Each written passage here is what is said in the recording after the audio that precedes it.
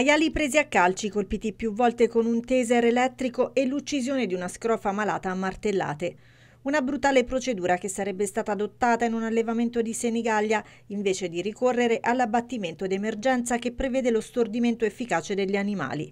Uccisione e maltrattamento di animali sono quindi capi d'accusa per cui sono finite in questi giorni a processo al Tribunale di Ancona tre persone.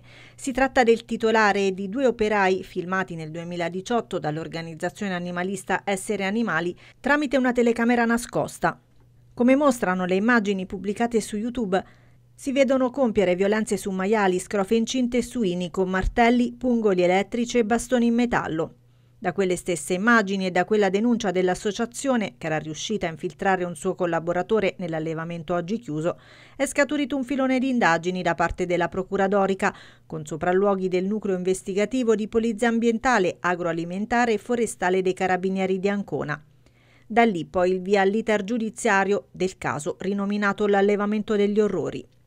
L'associazione è stata riconosciuta come parte civile nel processo a carico del titolare dell'allevamento e del capo operaio che impartiva gli ordini, mentre il secondo operaio è stato ammesso dal giudice alla misura della messa in prova.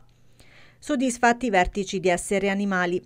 Abbiamo chiuso un allevamento dove venivano commesse violenze sugli animali di inaudita gravità, ha commentato il presidente Simone Montuschi. Ora il nostro impegno continuerà sul piano legale per chiedere la condanna penale degli autori di questi comportamenti.